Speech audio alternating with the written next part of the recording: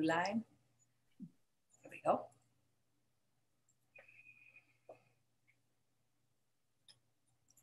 Hey everyone, and welcome to Chef AJ Live. I'm your host, Chef AJ, and this is where I introduce you to amazing people like you who are doing great things in the world that I think you should know about.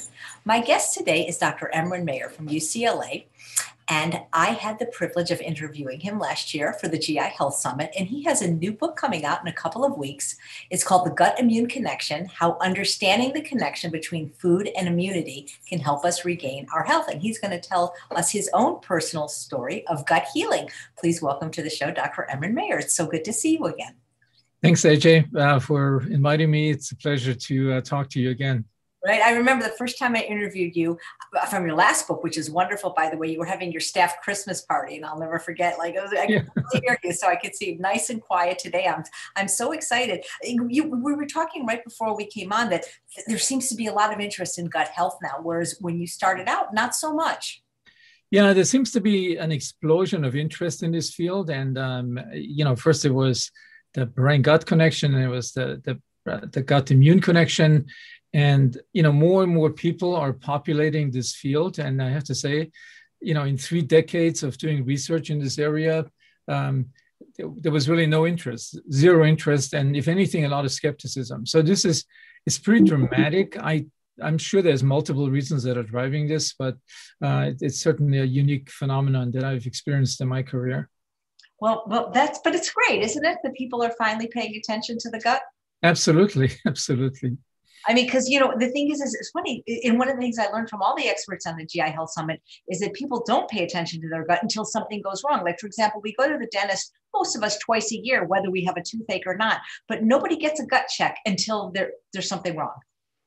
Yeah, and and and the thing is, you know, there there are people that came to this field all of a sudden, really without um, having a background or research interest, and so there's a lot of stuff that, that came into the space that you know is not really evidence supported. And um, um, it's but it's it's sort of become a free for all. You know if you make a good story about something then this will uh, you know interest the audience. And um, i find it more important than ever you know that a few of us i could count them on a hand on, on, on one hand um, actually come to this field with uh, the honesty and uh, scientific rigor um, that I think is is necessary to make this more than just you know free talk about um, all this the stuff that's been floating around in in uh, you know in in all kinds of media. So I, I I'm really thankful to you for you know for giving me this opportunity to to talk about this. Well, you know, as somebody that's had a, you know, I always joke. I mean, I'm much better now in my 60s, but I always used to joke. I've had a stomach ache since I was four. I've always been very interested in this subject, and first book, the gut, the gut brain connection was fabulous. And now you've got the gut immune connection. What's the next book? The gut, what, what are you going to make the connection with next? What other body parts do you have left to make? That's, yeah, this has been, I mean, I shouldn't really be thinking about this because I'm still completely immersed in, you know, promoting the book and, um, but you know, there's there's a few ideas. So I mean, I haven't really gotten specifically into um, some very common gut diseases like uh, inflammatory bowel disease and irritable bowel syndrome. Um, and that's certainly one idea that, you know, the, the, the gut disease connection. So we would actually get into these diseases in much more detail. I mean, it, it, it, almost seems like everybody I know has either IBS or constipation. There, I, I, I, don't. It doesn't seem that there's a person out there that has like perfect functioning gut anymore. Yeah, and that may have to do. You know, it's certainly being aggravated by um, by the pandemic. Um, tremendous amount of um, stress and increased anxiety and depression, all of which are factors that, um, as, as you probably know yourself, um, can lead to uh, an increase in the symptoms or the first, um, first time onset of symptoms. And I think that's been partially driving this. Um, but there's also, I mean, this whole thing that happened with, uh, you know, from the gut, you go to the diet. Um, but from the gut, you go to the microbes. And once you get into the microbes, you have to talk about the diet because the microbes themselves are not really doing things uh, out of thin air. You know, they, they process food. And so I think that link that has happened now with, with diet, serious um, nutritionists, you know, who actually match the seriousness of the microbiome science. I, I think that has really brought um, rigor and an interest of mainstream um, gastroenterology and, and, and, and, science into this area. So I think that's the pandemic and um, the link to food, um, I, I, think is are the two things that have really happened. Well, one thing's different is the amount of processed food that we're eating today compared to like my grandparents. It's just in the amount of ultra processed food. And from what I understand, that's not so great for our gut. There's no fiber. There's no fiber. And um, yeah, I mean, as I'll be talking about, you know, in this sort of brief personal journey, I've sort of experienced this always, you know, my new book I write about what's happened in the last 75 years. So this um, extreme development of um, the big food companies and industrial agriculture, all of which have sort of gone in a direction to take the healthy stuff out of our food and um, make you know the most profit with unhealthy uh, unhealthy food and um, yeah so it's it's clearly um, i mean there's many factors you know about food. I always say it's it's what you eat where it comes from um, and when you eat it are the three criteria. It's, it's not just what you eat you know. You could eat something that looks like a potato that looks incredibly tasty and healthy but that potato is different in terms of its fiber amount from potatoes that were sold 70 years ago you know with and now we've ended up with a very small number of, of potato um, species because all the other ones have not been considered to be optimal for processing and putting into French fries, you know, to a large degree. So it's yeah, and you know it's interesting because as you know, doctors don't get very much nutritional training in medical school, and even GI doctors, it's it's not very common for doctors to even ask patients what they're eating or tell them what not to eat. Yeah, this has been, uh, and and I'm definitely a victim of that um, training and education myself because, uh, you know, until I wrote my first book and really got into the microbiome part of the brain gut axis, um, I didn't have much interest in diet. I mean, it's not something, you know, I mean, I like to uh, eat a, a good meal, but it's not something that I would make a science out of. And um, that's because, so I had no training whatsoever, uh, you know, not an hour in, in my, uh, so in, you know, in Germany was six years of medical school, not a single hour about uh, nutrition and diet other than, you know, protein and carbs and, and, and, and, and lipids, the macronutrients but that's not what the answer is. You know the answer is as, as we'll talk about later you know is is some other part of uh, of, of the food that we eat. And um, i mean this is gradually changing. There there are now um, you know there's a lot of young physicians. I can see it with our students that come the, the pre-med students that have an interest. I see it on some of my young colleagues who actually you know have a master's degree in nutrition so this is now changing. I, I think we're on the verge of really um, medicine and gastroenterology just at the same time when you know all the mindfulness components have now entered the mainstream. Um, so the mind targeted therapies. So a lot of young physicians are interested in, in incorporating in training in these techniques and incorporating this. So we are gradually, I think, moving into a more holistic form of the of the you know the mainstream medicine that's these topics have always been covered by functional medicine doctors um, but i think that's really because you know we in, in medicine didn't really take care didn't really pay attention to it. I, I think that will and have to will have to change um, and particularly you know i'm always coming back to this. I mean it has to be science based it cannot people cannot come up with um, ideas fancy ideas that sound good or sound bites but but in reality, where's the evidence? You know, where's the single randomized controlled study, longitudinal, that has shown that this makes a difference? So I, I think it, it's an exciting time where um, more and more of my colleagues are entering this, this field. That's fantastic. So I pre-ordered your book on Audible because I prefer to listen to read, and I know I have a few recipes that I contributed to it. I've been posting the link so people can can pre-order it if they like on Amazon. And I'm I'm so impressed. You've got a couple of my favorite colleagues that endorsed it, Dr. Joel Fuhrman and Dr. Will B.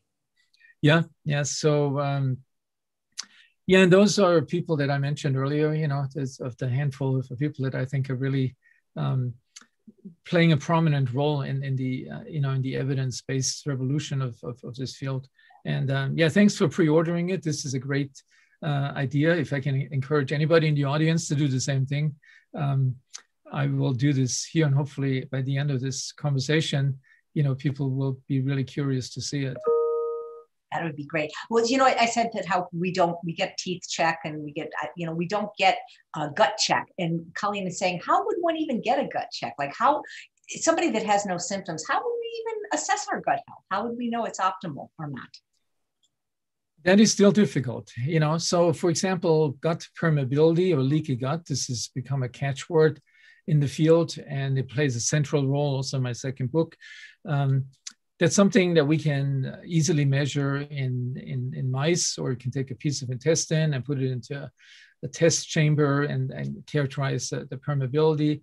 Um, it's much harder to do this in humans. You have to rely on um, the secondary effect of this leaky gut, which is like all of a sudden there's immune molecules popping up in your circulation, even though you have no symptoms. So I, I think paying there's also attempts, you know, or several methodologies to um, to look at uh, fecal microbiota and metabolites. I would say that that field is still in um, in evolution and under construction. I think it's been rapidly moving from being interested to know what microbes are there and what abundances um, and what uh, diversity and richness is there um, to a whole new way of looking at it. What do these microbes um, produce? So this is called the metabolites that the microbes make. And that's really what interacts with our body. It's, it's not the microbes themselves, it's what they produce jointly, not one microbe, but jointly. And this field of, um, you know, has these fancy names, um, metagenomics or metatranscriptomics, um, we're, just on the on the beginning end of that, and many of the tests that are currently available and being sold for um, people to get a gut check, I would say, I mean, they're neither FDA approved nor have they really been validated, um, uh, you know, in terms of their usefulness. We, we, I think we're close to that point, and some of these techniques that are available um, are better than others. Like, um, you know, a company I have to disclose I'm on the scientific advisory board with is um, is Viome, who uses probably the best technique. Um, but I think their recommendations are not really based on the solid evidence that we ultimately need. You know, you need artificial intelligence of hundreds of thousands of, of samples that you can then say, you can say with confidence, this is abnormal and this is a risk factor for developing Alzheimer's disease, or this is um, this justifies a specialized, individualized diet. I think we'll get there in the next five years. Um, but I think a lot of people put their false hopes on many of those, um, uh, you know, tests that that are available now commercially, and, and think that's the answer to everything. That's really not the case yet. Uh, so Lori, who's watching live, you mentioned how the pandemic is affecting people's gut, but she, she wants to know how is the SARS-2 virus affecting it? Is it just because people are very stressed or is there something particular about the virus that, you know what I'm saying? Or is it maybe both? It's probably both. I mean, there's definitely the effect of, of stress and anxiety that uh, that the brain sends out these signals um, through the autonomic nervous system, the stress system, to the gut, uh, changing its, its permeability, its uh, leakiness, the abundance of microbes. Um, but there's also so that the, the virus itself does not enter through the gut. You know, the, the what the gut part does and the diet part does in, in this in this epidemic, it changes the responsiveness of immune cells.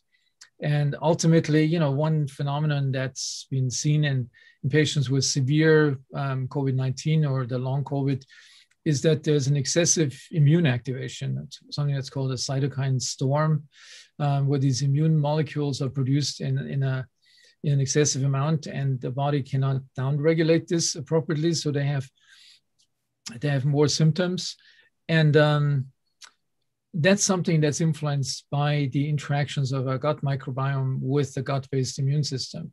So we, uh, just imagine our immune system 70% is located in the gut. A lot of them circulate through the gut on their in their life cycle.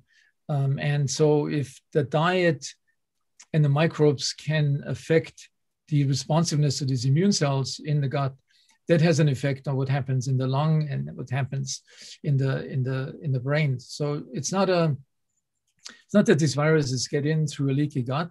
It's how the leaky gut and the immune system overactivation affects the response of the lung and the over and, and, and other organs in the in the body. But there's clearly a connection between, you know, between um, between the virus, uh, people that are infected are more vulnerable. So many people that were are more vulnerable um, have what's called these comorbid conditions. So these are these chronic non-infectious diseases from type 2 diabetes to um, um, you know, obesity, hypertension, cardiovascular disease, uh, cancer. And those diseases, you know, as I really lay out in my, in my, in my new book, um, can all be traced back to this uh, unhealthy gut and uh, the inappropriate activation of the immune system in this unhealthy gut, and then with these widespread effects. So clearly, greater risk for developing uh, COVID, greater risk for developing complications, both acute and chronic, um, and the effect being mediated mainly through the immune system um, in the in the gut. So we'll learn a lot more about you know COVID-19. We're really there's, uh, there have already been hundreds, maybe thousands of research studies, but we don't know all the pieces yet. But I, I'm, I'm sure this will come out as, a, as an important factor. The vulnerability to this disease is, is definitely related. It's interesting I'm sure at some point we'll, we'll understand this.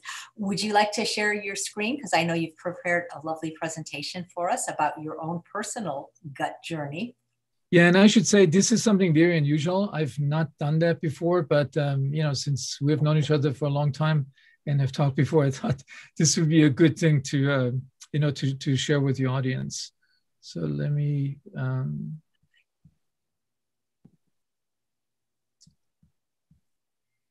Okay.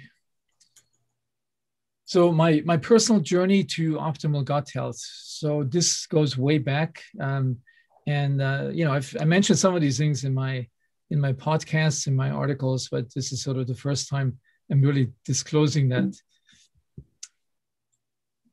Uh,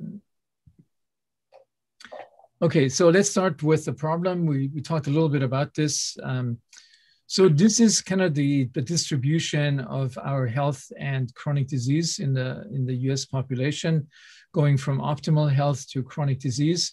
And you already can see there's sort of a disproportionate size of chronic disease that's taken up here.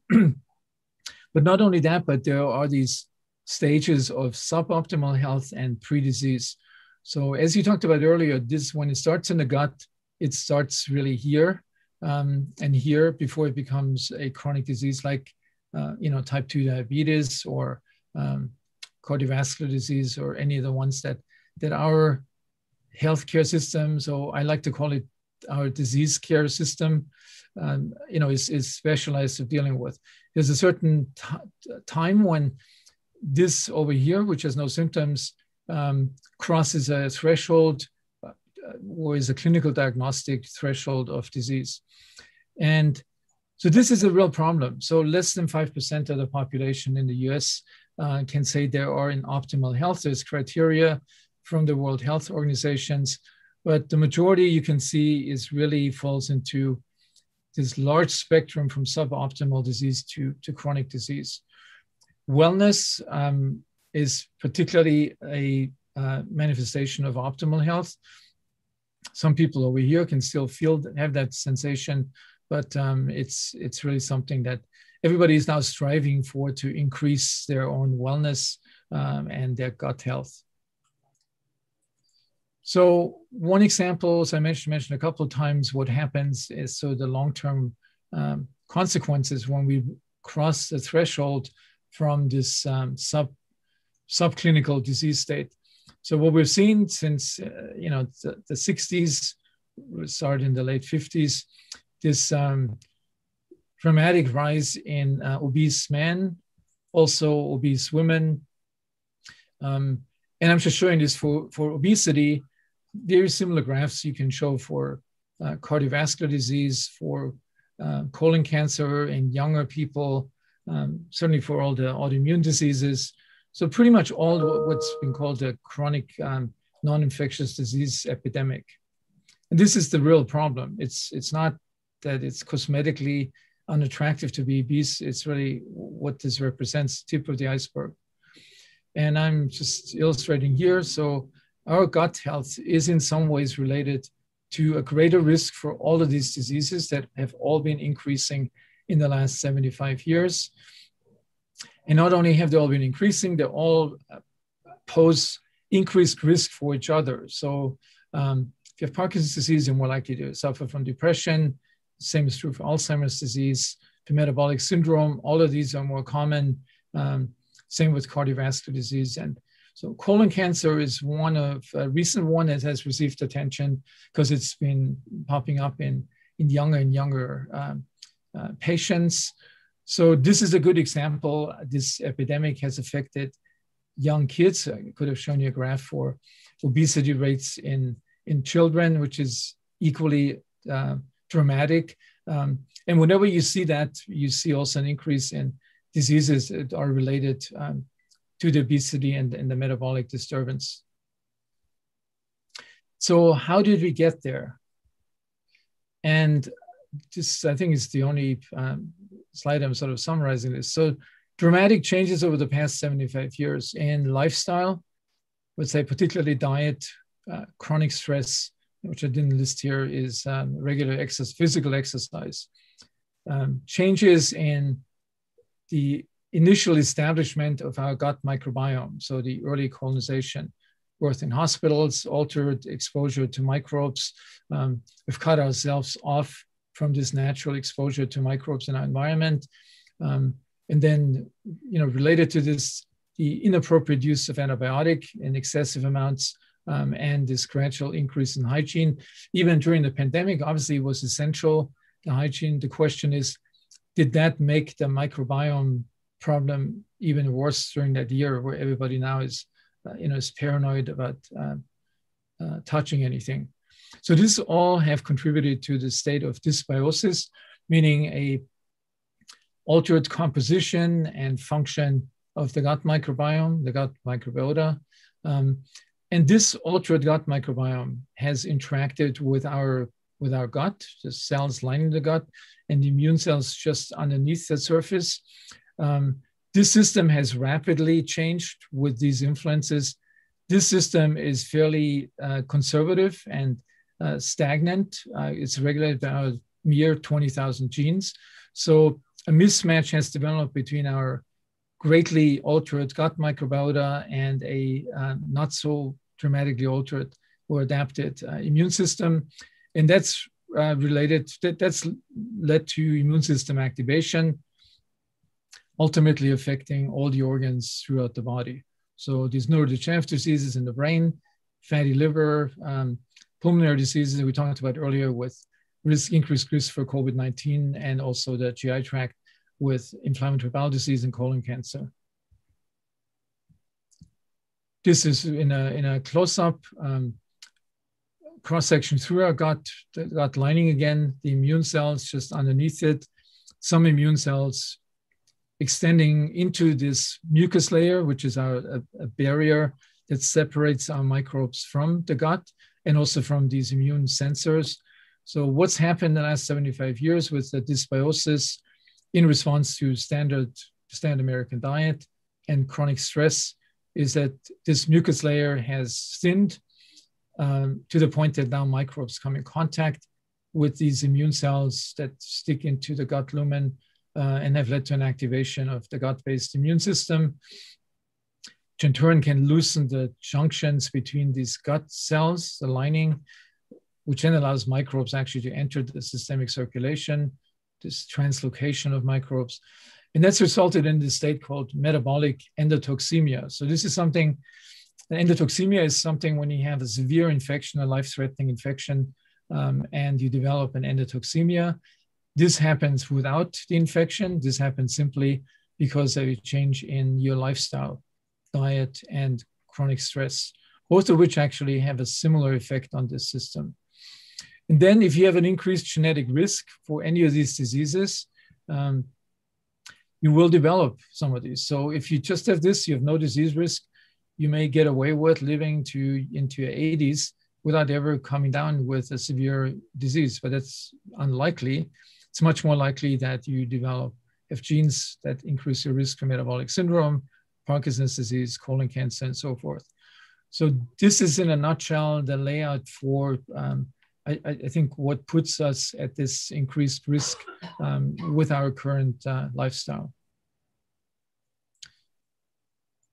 So there's there's factors that have contributed to this um, changes in our environment, soil, water, air, um, diet. There's also the stressors, the psychosocial stress and the dietary stress, both of which have a similar effect on the gut, on gut health, and on the gut microbial health. Um, but then it's important to mention there's resilience factors. So a healthy diet from early life on, clearly on top, regular physical exercise, healthy mind states, um, and beneficial environmental micro, microbes, the exposure to a lot of microbes in our environment from, from animals, from the soil, from, you know, even from other people, and social support system. So what has happened, these factors have deteriorated and these factors have, um, in some have protected some people from coming down with, um, you know, serious illnesses. So let me throw in my, my personal journey. So I would have to say in the beginning, I've been fortunate to actually have many of these resilience um, factors in, in my upbringing. So I grew up in a small town in southern Germany, um, in the Alps uh, called Traunstein, an old painting. Um, I had the handicap of growing up um, with a family tradition of making and enjoying sugary foods. I think you have something in your history as well, uh, similar. I had no clue at the time that there was anything bad to it. Sugary foods was associated with the seasons and with uh, hol- with all the holidays, Christmas, Easter. Uh, you know, um, everything was uh, weddings was celebrated with with sugary foods. And the reason that happened because I, you know, grew up in a family, several generations of confectioners, chocolate makers, um, and uh, go, you know going back to the uh, mid 19th uh, century. And you know, I'm pointing out here. So this was a pretty serious business at the time. This was not making um, low quality, high sugary foods. So my grandfather pointed out here, out here is this um, and here.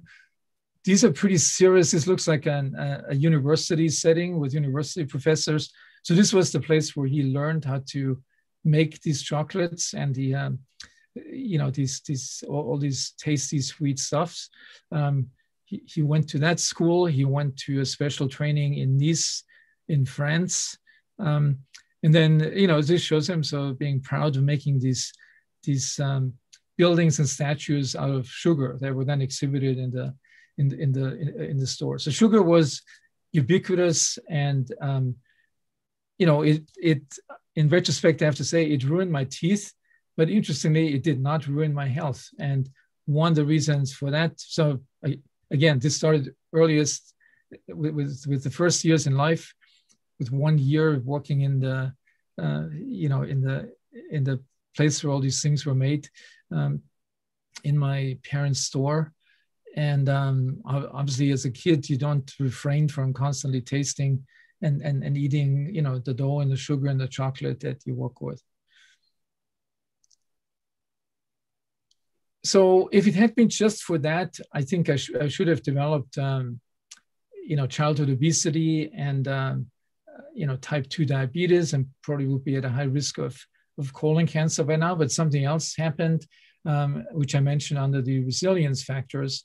So I spent my summers on the farm of um, of my uncle, and uh, this gives us just some idea of how different that farm experience was from when you see pictures today of uh, large scale industrial uh, growing of corn and soybeans in the in the Midwest. So this was all um, was associated with a lot of you know hard physical labor. To uh, there, there were no machines at the time. Um, for some reason, I always felt really attracted to farm animals, and um, and you'll see a few pictures like that. Um, so not only cows but also pigs um, and and and horses. So I spent, I would say, eight weeks each year immersed in um, microbial exposures from from not just the farm animals but also the soil and from the manure that we you know moved by hand out of the uh, um, stables onto this machine, which then was was used to fertilize the soil. So there was no chemical fertilizer. Uh, it was all directly from from the animals. And the good examples of when we worked in the fields, um, the the lunch break always included the potatoes that we had just picked like an hour earlier from from this healthy soil that had been you know nurtured with um, with, with with with natural fertilizer. So the other thing I, I mentioned earlier, so we know that um, regular physical exercise plays an important role, not just in our health, but also um, in the uh, health of our um, of our gut and our gut microbiome. There's many studies now that have shown this. Uh, uh, so a few examples. From about the time when I spent my summers uh, on the farm, we also um, went into the mountains um, as much as possible. It was generally not a week where we were not hiking for hours in the mountains. And I sort of maintained that that um, habit, um, you know, for a long time until my current uh, uh, situation. So I think the combination of nurturing the microbes, being in a natural environment, and I should admit I've, I've never really measured my microbial diversity. I would assume it's it's actually pretty diverse and rich I did not get excessive antibiotics as I certainly nurtured it with natural microbes all the time. Um, fermented food products were ubiquitous in the cuisine at the time from yogurt to kefir to sour milk. And um, so these, um, you know, these things were always there, but they were for me not, I was not conscious. I was not doing this because I wanted to improve my health neither did my parents. You know, this was just the lifestyle at the time um, that a lot of people in this part of Europe uh, were, were living, and probably also the same in the United States. I, I think it would be very similar. Took a picture here. So this has um, this has led ultimately fairly late in my life um, to um, this focus on gut health, healthy lifestyle, healthy food, and ultimately healthy planet um, that I now, uh, you know, enthusiastically uh, teach and embrace. Started out with the mind-gut connection in 2016, where it showed that uh, you know optimal health, um, the, the, difference between the North American diet, Mediterranean diet, and uh, the, the, effects on, on optimal health, but also on these effects of emotional factors such as um, anger um, and anxiety, um, any kind of emotions that, that have an effect on the gut microbiome and gut health. And then this whole topic of early memories. Um, thank God I, I can only uh, recount positive memories, but many people, um, you know, have been exposed to early adverse life events. Again, we know today are a major risk factor um, for poor gut health um, and um, an alteration in, in gut microbial programming. So from from a diet that was probably from a macronutrient standpoint not the healthiest um, certainly lots of red meat um, lots of animal-based fats um, that that i grew up on. But obviously without ultra processing everything was natural. The, the most uh, strict farm to table type of um, food that we had um, to something that I today, um, you know, promote as a solution, as, as one of the best solutions to our current uh, health epidemic. And this is, um, at the centerpiece is a largely plant-based diet, shown here on this pyramid, um, not exclusively. Um, if somebody is for ethical or religious reason, um, a, a vegan, that's obviously totally fine, and I fully understand that. But if you just look at it from a pure health standpoint, um, this is as good as it gets. Most of the studies that we have um, that are associations, um, cross-sectional, um, population-based studies, it would seem that there's a great advantage of being on this diet compared to the standard American diet. Um, and um, it's obviously easier to um, sustain and, and promote than if you if you eliminate um, you know any, any type of meat completely or, or animal products. And there's a good reason for this. This is low in refined carbohydrate, high in omega-3 fatty acids, importantly high in diverse fiber and emphasis being on diverse. You see the diversity of products here. Um, diverse in polyphenols, or it's been referred to as antioxidants, um, and is pointed out by many prom, uh, people that promoted the, Medi- the traditional Mediterranean diet, um, something that has a big component for mind-body interactions, social interactions um, in in any form, which was very common in these in these or still is in these Mediterranean countries. And this Mediterranean diet is translated by our microbes into um, hundreds of thousands of metabolites of breakdown products, which then get into our bodies, um, into the immune system in the gut, but also throughout the body, reaching the brain, the liver, the lungs, uh, all the organs, and exerting together as a sort of really remarkable combinatorial system these health benefits on um, you know that that that we're talking about. So my my last slide here. So this is clearly something. Um, it's exciting that we have seen a um, beginning transformation on multiple levels from um, uh, companies that produce food. There's a small number that have jumped on this um, on, on, on, this train, on this health train, um, to scientists, um, to some politicians, still have a long way to go. We certainly have to get to healthy diets, um, which come from sustainable uh, food systems, in order to assure our own health, which is closely linked to the environment, mental health, and the health of the planet. Uh, slides, you mentioned this in the beginning, so if anybody wants to know more, go to my website, emeranmayer.com, uh, and subscribe to our bi-weekly newsletter um, which you can do on uh, on the website. So this is all I wanted to share with you. And that was fantastic. Thank you. And you have a podcast too, don't you, Dr. Mayer? Because I've heard you interview Dr. Fuhrman several times. Yeah, so the Mind Gut Conversation is our podcast. So we invite people, um, not just in the field of nutrition, uh, but also uh, since I strongly believe it's the mind gut uh, microbiome system that's important for our health.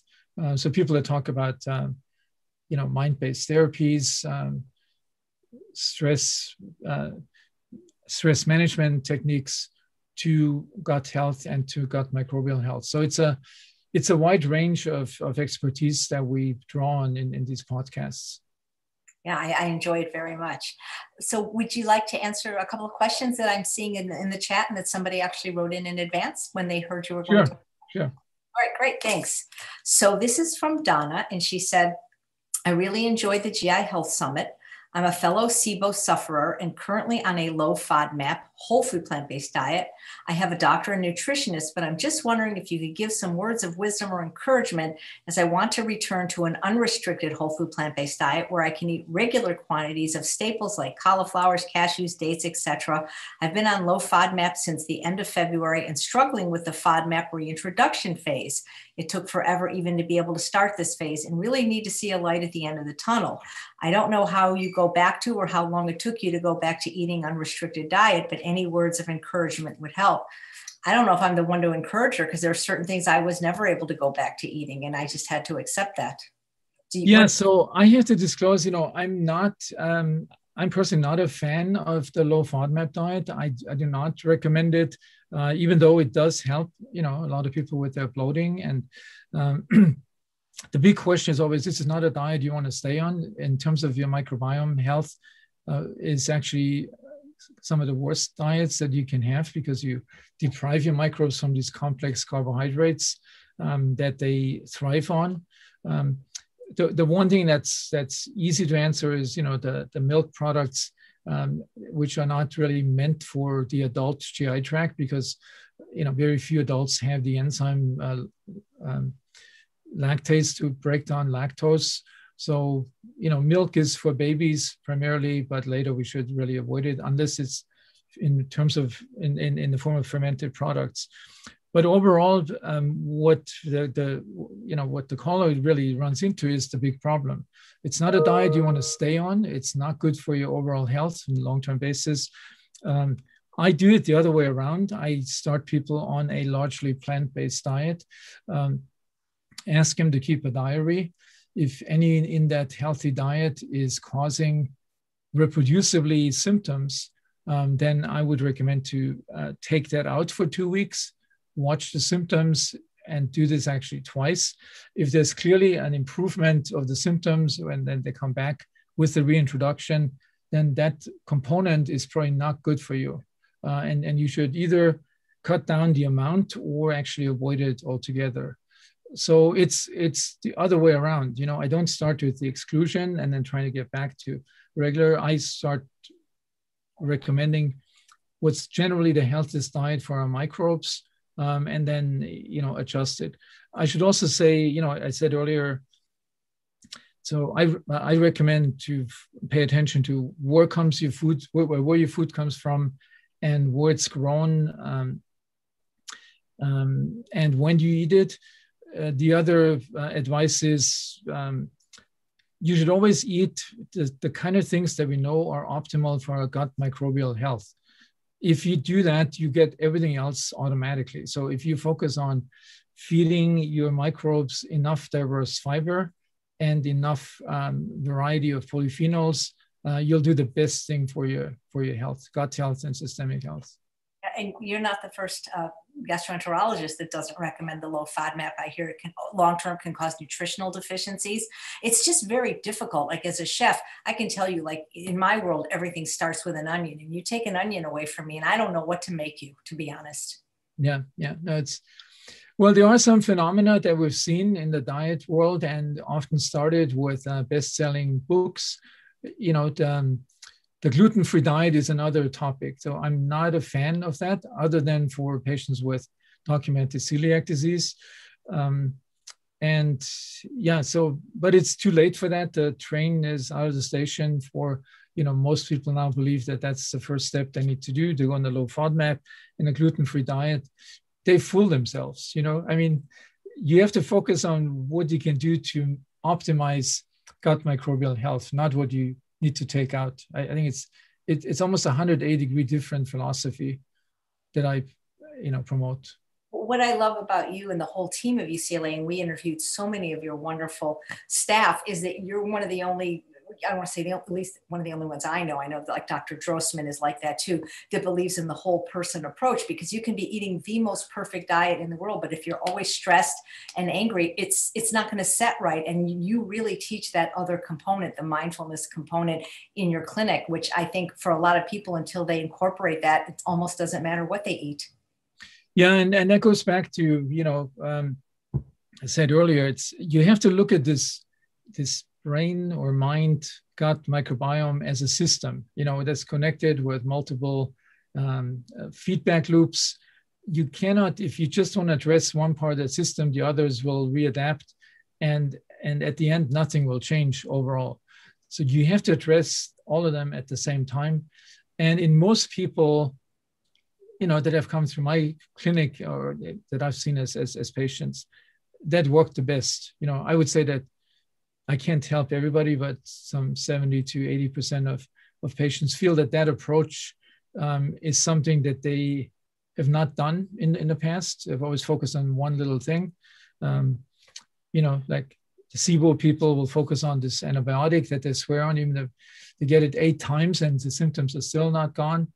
Um, so those are extreme examples, but I would say if you don't look at the whole human being and this whole brain gut microbiome system, you will not really reach the state of optimal health if you remember on that curve, the small, you know, less than 5% of our population that are in that state. I really appreciate the work you do at UCLA, and all the people were just amazing that you you sent to me for the summit.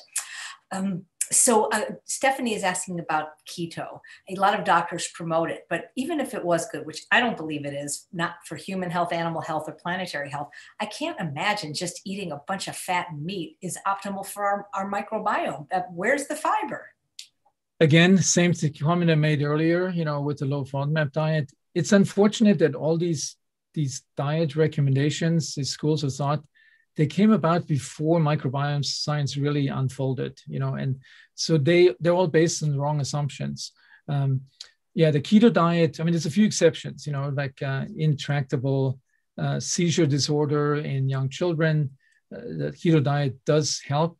Um, there's some evidence, not strong evidence, but some evidence that in advanced patients with Alzheimer's disease, it may um, alleviate some of the symptoms of advanced stage, even though early stage Alzheimer's, we recommend the Mediterranean diet. And as you say, it's it's bad for for multiple players. It's bad for the microbes. It's bad for our gut, um, and it's really bad for the environment. You know, the, one of the worst things that is happening with this, um, you know, this industrial style meat production that we have, and the um, monocultures of, of soy and and corn to feed all these cows, which is, you know, reason for cutting down the rainforest in the Amazon and in other parts of the world. Um, it all has negative side effects. You know, you, I mean, you can, I, I think what you can do is, um, and certainly we do this ourselves, you know, uh, by eliminating um, sugar, stuff that I've grown up on, and um, and other refined carbohydrates, and substituting it. There's a lot of oils and fats and protein in plants, you know, which does not have these any of these negative effects that we mentioned just for the for, for the animal, you know, derived products. And that's something that certainly helps with weight control. You know, it's certainly um, if you eat, you know, lots of nuts and um, which by themselves are high caloric, but if you don't add the sugar to it, which unfortunately our highly processed snack um, um, processed snacks are always combined with sugar, then uh, it's it's actually a healthy food, you know, and and has, does not have these negative uh, impacts on, on on on the environment. So I would say, and again, it's it's sort of really based on this basic concept. If you do what's best for the microbes, which is plant based, then all these other things will happen automatically. You know, you will you will eat more as are parts of the traditional Mediterranean diet. You will eat more um, seeds and nuts and um, um, you know c- components that have fat and protein in it. But you don't really have to start with that. It comes automatically. You know when, when you and it's it's something that I always find interesting when you when you think about it. Like all these concepts that we and a few others are proposing now, we, we have known this for some time. I mean, there's good epidemiological studies that have shown that a lifestyle with a healthy diet, regular physical exercise, and calm mind states um, prolongs disease-free interval at the end of life by 10 years. What we what we haven't known until now is what are the mechanisms, and I think um, so we could just stop now and say, let's just focus totally on educating people about these three pillars of a healthy life um, and longevity. Um, but you know, the science is equally exciting, and people want to know why this works, and often only do things if it's if there's a scientific basis to it. But I, I think we've known these things for a long time. It's, it's just now they're becoming into mainstream science you know, on my earlier show today, I had a lovely chef, and people were saying how beautiful her skin was. And she said it didn't used to be that way. It wasn't until I healed my gut. I wonder what other conditions uh, can be healed once a person heals their gut, because she said until she got her gut in check, her skin never looked good. Yeah, I mean, as I mentioned, you know, this um, this system in our gut, um, this interface between between the microbes, the gut wall, and the gut-based immune system, and the gut-based hormonal system, um, and the gut-based nervous system. That that system does not. So what happens there does not stay in the gut. You know, it's um, it spreads throughout the body, both in terms of the hormones, the inflammatory molecules, um, and so it's not surprising, you know, that that any organ, including the skin, are positively affected by treating that interface in a way um, that keeps it in its healthy, natural state. Um, yeah, so it's not it's not surprising. We just haven't paid that much attention to it.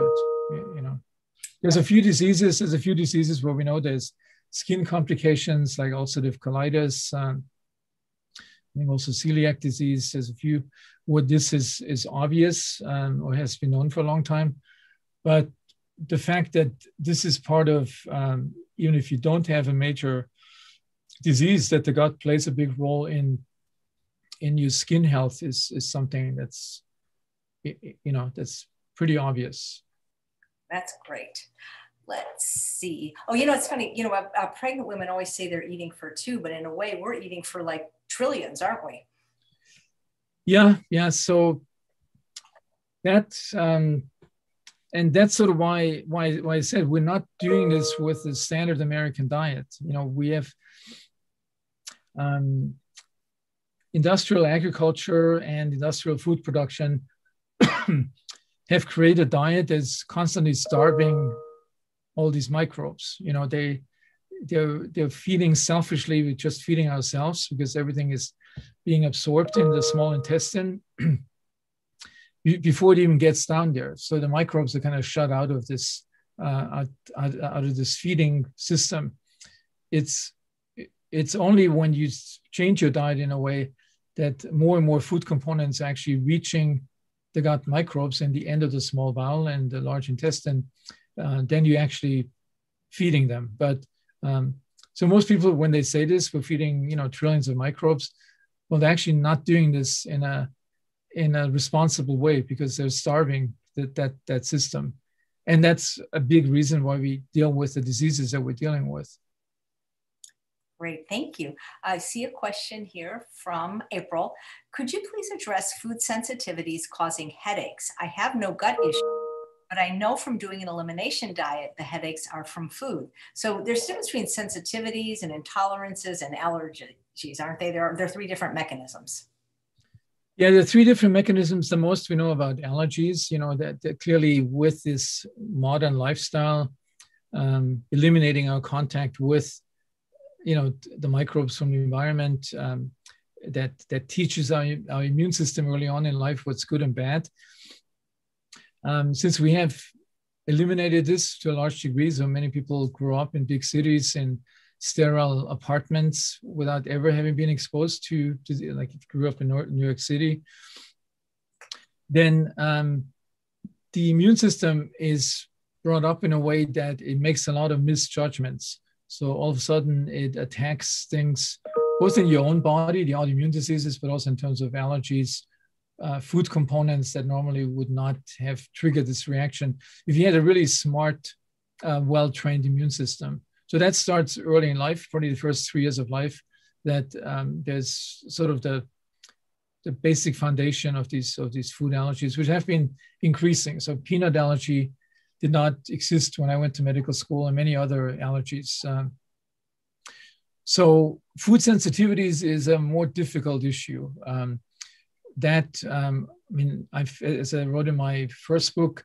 the gut is our biggest sensory organ in the body and um, it's very specialized sensors that pick up food components and um, and many of these, these receptors on these nerve cells could be the vagus nerve could be the enteric nervous system could be the sympathetic nerves if they're slightly altered they will produce um, negative reactions to you know normal food components um, they may also be worsened by um, the chemicals are, that are part of our modern food supply.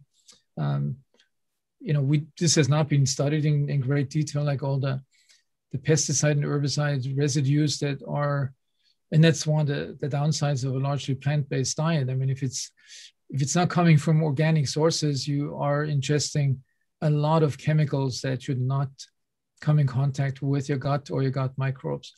But what exactly the mechanisms are to produce these food sensitivities, um, it somehow points to the same concept that you know this starts happening in the gut, and then because the gut is connected to all the other organs in the body through the immune system and the nervous system, uh, it can manifest in, in the form of headaches.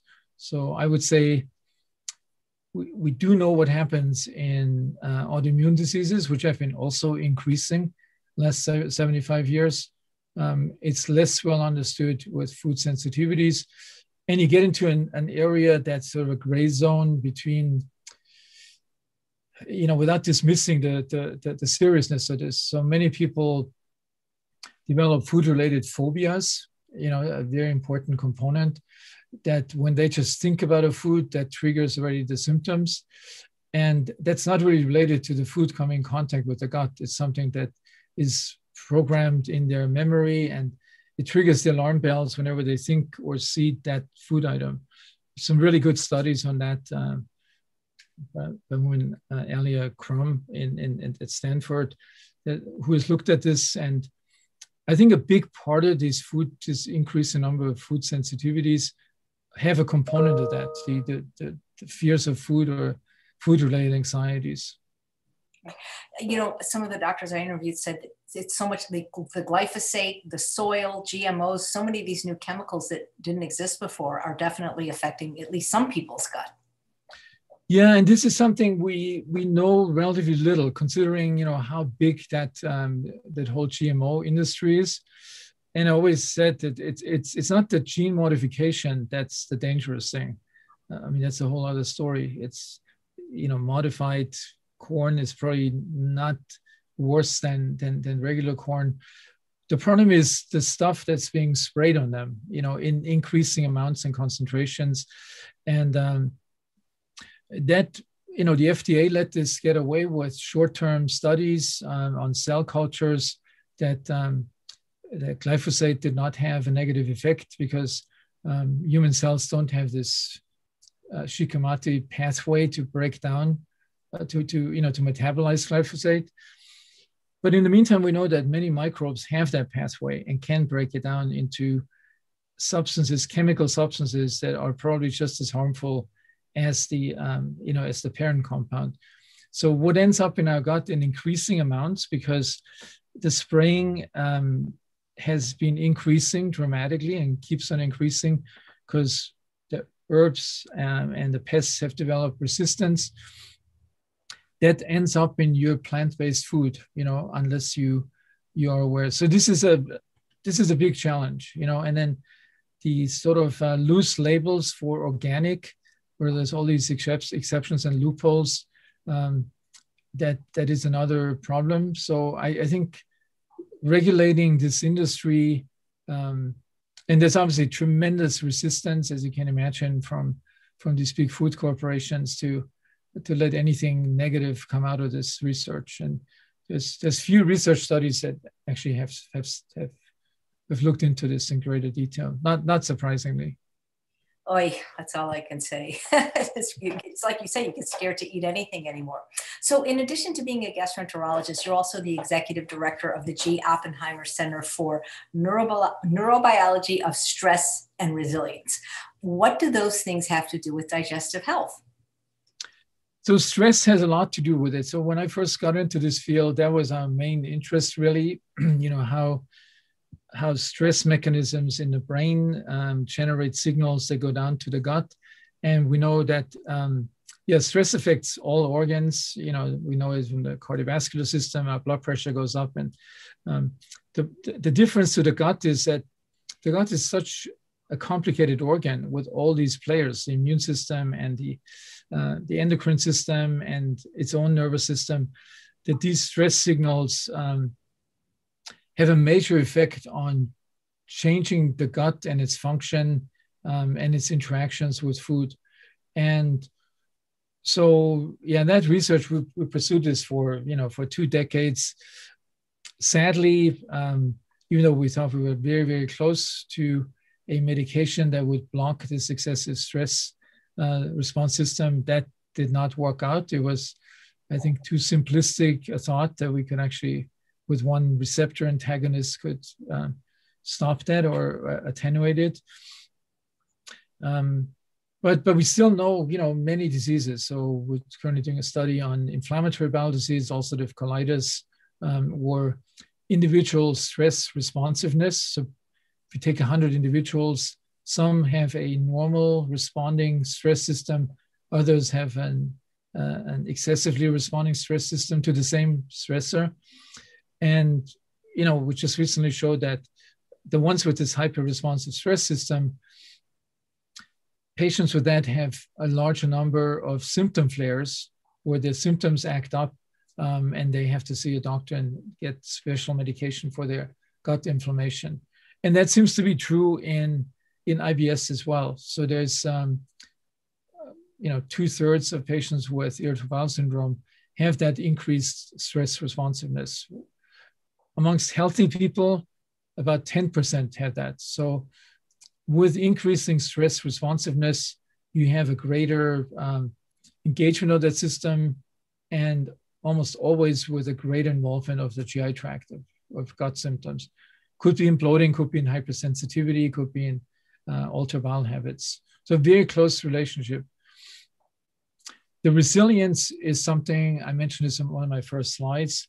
So there's always these resilience factors. Everything that we talk about here with you know stress and bad things for gut health, there's always resilience factors, you know, which may be, you know, growing up in a in a farm environment or um, uh, you know having the healthiest diet from early on in life and not having gotten antibiotics so there are these resilience factors um, and there are resilience factors in the mind as well that some people just process um, events around them or what they perceive from their body in a different way than those who ring the alarm bells every time that happens so to answer your question yeah, stress and resilience very, very closely connected um, to gut health.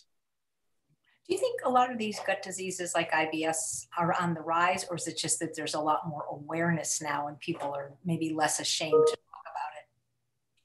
I think based on the numbers, uh, there's a greater awareness. I think what has happened that the the criteria to make these diagnoses has been changing every, you know, every I don't know, five or six years there's this Rome Foundation who comes up with these modified criteria. Every time they change the criteria, the, the prevalence of these diseases changes as well.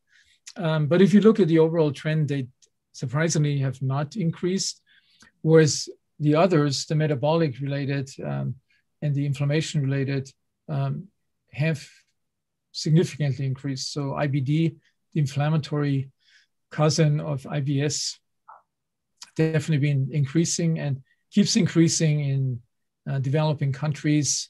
Um, so they're pretty different categories of diseases. I personally think inflammation, immune system activation plays a, a relatively small, minor role in IBS, um, but it plays a big role in all these other diseases that we talked about.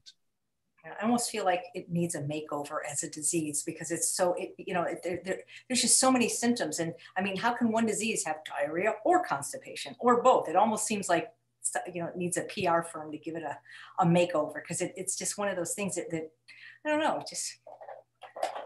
Yeah, and, uh, and and and the PR firms like the Rome Foundation, you know, they've still not been successful as they had hoped they would be to to really clarify it for everybody and make everybody happy, all, all the patients happy, you know. So it's nobody want, I mean, nobody wants a disease in general, but I just think it needs a better name. I'm, I don't know. Maybe because I used to be an advertising copywriter. I'll think of one though. I mean, just like when I've talked to doctors that specialize in food addiction, that's a terrible name for a disease. And they've suggested dopamine deficiency disorder. You know, just, just sounds better. IBS. I don't know. Nobody knows what that means. So doc, Dr. Mayer, you don't actually see patients, right? But can people come if they're in uh, Southern California, go to UCLA to see somebody from your team or does anyone do telemedicine? because people like you and your approach? Yeah, so at the moment, you know, there's several people from our center that see patients. Um, um, I stopped seeing patients uh, just before the pandemic started, but am exploring ways of doing telehealth on because many of the things that um, you know, if I have somebody, let me put it the other way 90% of patients that come to see me already have had five colonoscopies and CT scans. And so I don't need to do that anymore. So most of my interaction with patients is educational. And um, I can easily do this on, you know, um, uh, online. And so I'm working on, on that modality too, because I can already see it, you know, with my first book. My practice changed from one where patients were referred by um, other physicians. And when, once the book came out, everybody came with a book in hand with the mind gut connection and pointed out that I'm patient so and so in your book.